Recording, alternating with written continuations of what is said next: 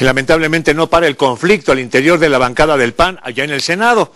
Siguen dando de qué hablar a pesar de que ya hicieron, según ellos, un pacto de silencio que va a terminar al día siguiente de las próximas elecciones del 7 de julio.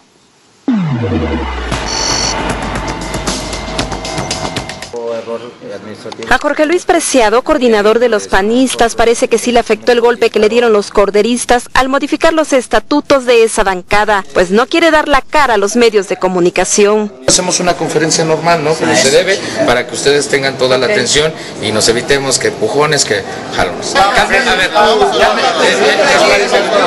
te propongo algo, mira, calmemos los ánimos, porque eso trae la nota, aquí en todos la nota, calmemos los ánimos, también ellos no están, no están acostumbrados luego este ajetreo, también. Las horas pasaron y la conferencia de prensa no ocurrió.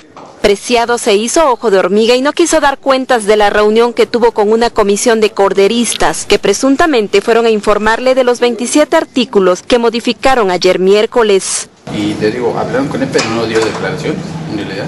Pero ¿por qué dicen una cosa y luego se desdicen? No, pero no me... Es que yo soy compañero de usted, Yo no soy fuente. Pues comunícate con Le le estoy marcando. Pero no solo los afines apreciado negaron dar detalles del encuentro, también los corderistas, todo por un presunto pacto de silencio que romperán al día siguiente de que pasen las elecciones.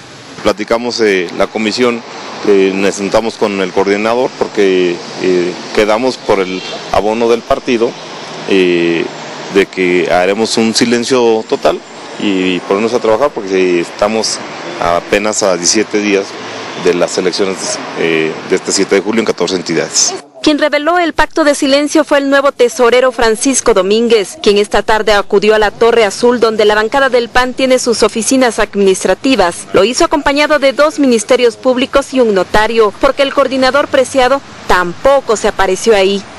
Bueno, estoy viniendo a tomar este eh, funciones de tesorero y el control de, la administración, como se dice, de los bienes inmuebles, de los recursos humanos y financieros del grupo parlamentario del PAN. Primero, revisar cómo están eh, las finanzas del grupo parlamentario.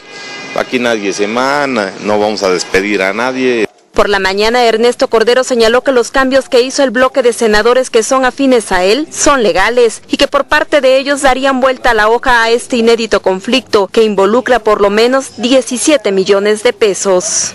Legal y jurídicamente es muy sólido lo que se hizo ayer. Yo no, no veo ningún espacio para eso y sobre todo yo creo que lo que mostramos ayer fue voluntad, voluntad política de resolver un tema, una tensión que existía. Pero quienes no tienen voluntad de arreglar las cosas son los senadores afines a Preciado y a Gustavo Madero, porque a los únicos que hoy se les vio en los pasillos del Senado de la República fueron a los corderistas. Para TDCN, Mari Carmen Wister.